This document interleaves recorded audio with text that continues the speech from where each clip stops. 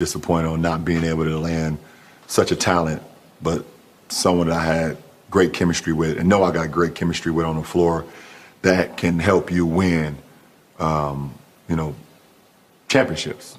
In my in my mind, right. in my eyes. Um, but my focus has shifted now. Um, my focus has shifted back to where it should be, and that's this that's this club now, and what we have in the locker room. That's a guys quick pivot, LeBron. It's a quick pivot, quick pivot. It don't take me long. It don't take me long. I don't I don't get too excited um, about the possibilities of things that can be. I I, I kind of envision myself on what it can, but I don't I don't invest it all the way into until I know it's happening. Okay. And and when it does not happen, I, am I'm, I'm back locked in on the job at hand. So. Um, you know, we had an opportunity. I think our, our names was out there. The Lakers' name was out there. We had an opportunity. Didn't happen. We move on and we we, we uh, finish the season strong.